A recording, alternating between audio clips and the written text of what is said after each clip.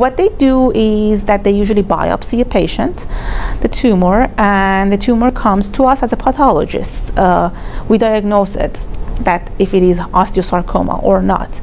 If the physicians and especially the oncologists are aware that they can use specific markers at the time of diagnosis to help them to gauge the treatment of the patients because they will start the chemo next step for the patients, it will be helpful. So they can ask us